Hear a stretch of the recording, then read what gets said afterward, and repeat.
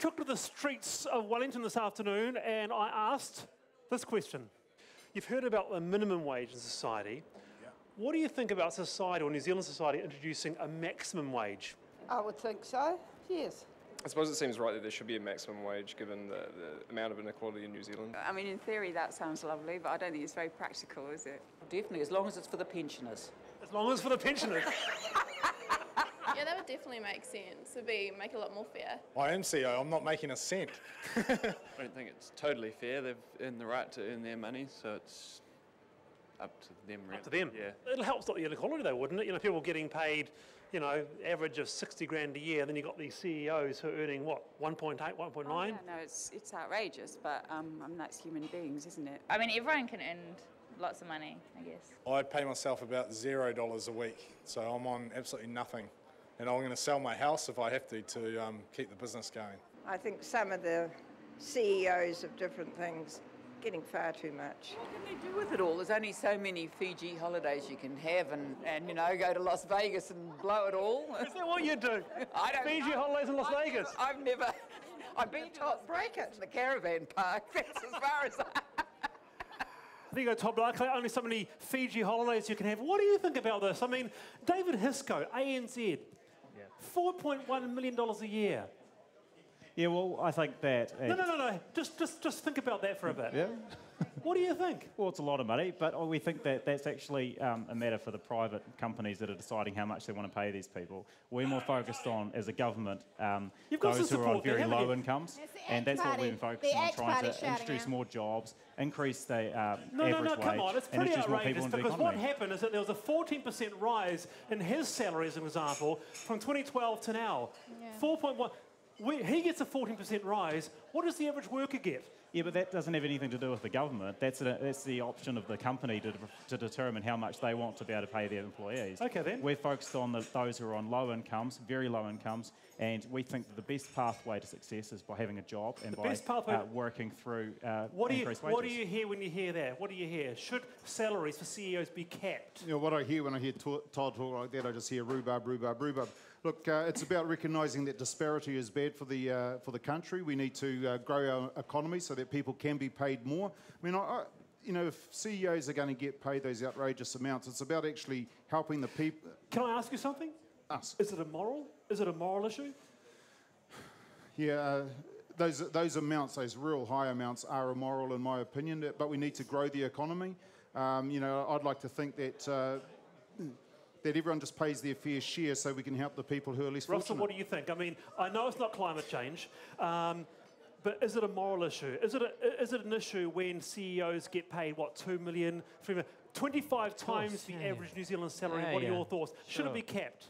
Sure, I mean, I, I think there's no question it's a moral issue. It's no question it's a problem for our society. Um, and there's, you know, there's not a lot of easy answers. Our approach was firstly, make sure you have progressive taxation. So if you're going to earn lots of salary, that you pay decent amounts of tax, of course. Uh, the next thing is actually transparency. So there's not a lot of transparency about a lot of these um, very high salaries and the ratio to what ordinary workers get paid. And then the other part of it is increasing the incomes at the bottom end as well, which is about minimum wage and benefits and all that kind of stuff. If you were offered a $2 million salary, would you negotiate down? Well, yeah. I mean, if you look at the CEO of the warehouse, I mean, he basically said that he was he didn't want one of those really high salaries because he didn't think it was right. What do you reckon, uh, Tracy? John Minto said uh, when he was in Mana, John Minto said that salaries should be capped at quarter of a million dollars because that's, that's really all you really need. What I- do you I think? mean, okay, yes so- or no? It's a quarter of a million dollars. No, no, no. I'm not. I'd, I'd say no, but I'm going to explain why no. Because this is a cultural shift that happened to us since the 1990s. Once upon a time, and I'm going to use men as an example. Once upon a time, you were a good man. If you looked after your family, you went out to work, you came home with the wages, and nobody judged you on what sort of car you drove or what how much money you got in your pocket. You were judged by how you looked after and added to your community. Now, We've completely lost it through the changes of the 1990s that money is by which you are judged. Now, it is, it is actually, it's disgusting for somebody to earn $5 million for running a company to create a profit for shareholders. when the worker's creating the profit for that share, and I know I sound like a socialist, the worker's creating the Yeah, profit for that share are earning minimum wage. It's disgusting. What it's about not necessary. What about what about Fletcher Building's Mark? Okay, what about Fletcher Building's Mark Adamson quoting him? People need to be recognised handsomely for what is massive value add. No, people need to be recognised. There's another way to recognise people. It used to be about your honour. Mr. Seymour, it used to be about actually your Whoa, work whoa, ethic. whoa, it used to be whoa. about what Let's- you did for your no, community, um, not about money. Stop, stop, leaving you now, leaving you, Damien. All right, um, I'm, I'm. Hello, how are you? Sorry, that, I just, that just got me there. Um, from Strategic Pay, it's John. It's John McGill. John McGill. I- It was the. Now you're the CEO uh, on four million dollars a year. At least. At least. Is it immoral? I mean, we, these aren't the questions we practiced beforehand, but don't worry, we'll get to them. Is it immoral for someone to earn $4 million a year as a CEO in New Zealand? That's a personal opinion. Everyone's got an opinion on pay, what they're paid, and what other people are paid. Is it immoral? I'm, I'm asking for your opinion. You don't think so? My opinion, no, it's not. Okay. So the question we were, we were talking about before, if you pay more, if you paid the CEO of Fonterra 6 million or 7 million or 8 million, are you going to get a better CEO the more you pay? It's not quite as simple as that. The, uh, the CEO pay is determined these days by a number of factors. There's demand, there is how they pay their people, there's the international side of the market, which does affect big organisations. So really simply though, if you said, if you were, now you're not in CEO recruitment, but if you were, if you set the CEO's salary too low, like say just four million when it should be six, are you going to get a worse quality person in that job?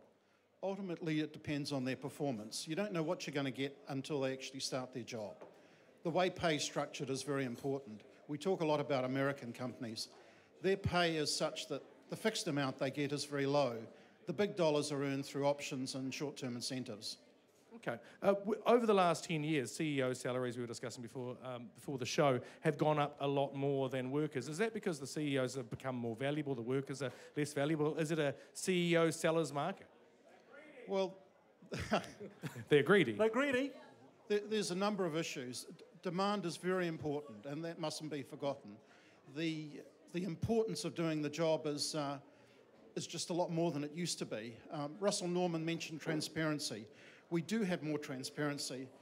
The perverse side of it, and I actually personally think we should have uh, even more than we do at the moment, but the perverse side of it is that in publicising the information, it actually does start to drive up pay in its own right. That's a really interesting point. So you were saying that the more transparent we become with CEOs' salaries, um, the more the other CEOs go, oh, well, I want that, I deserve that, whereas that's not happening at the lower levels. It does happen with CEO pay. It's quite well documented, particularly in North America and Europe.